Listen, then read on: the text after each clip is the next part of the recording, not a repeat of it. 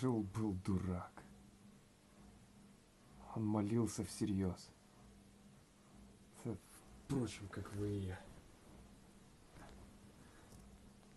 Тряпкам, костям и пучку волос. А все это пустой бабой звалось. Но дурак звал ее королевой роз.